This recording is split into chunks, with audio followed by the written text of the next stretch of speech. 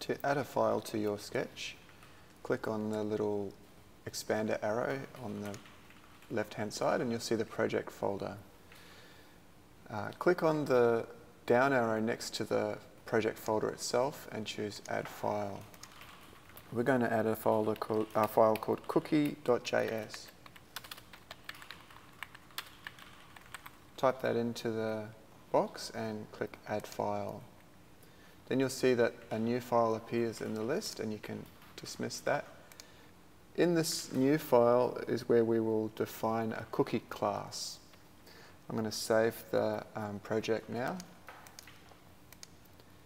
Before I can use whatever I put in this class, I need to link it to my sketch in the index.html file. Click on that, and you'll see a line here that says script source.blah blah blah, and it's referencing the sketch file. That's the one that we're normally working in. We're going to add another line like that that says script src, which stands for source equals cookie.js.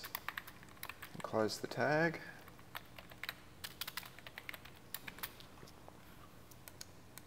And save it. And now that that's linked, anything that you put into the cookie.js file will be available in the sketch.js file. It's just a way of keeping your code more organized.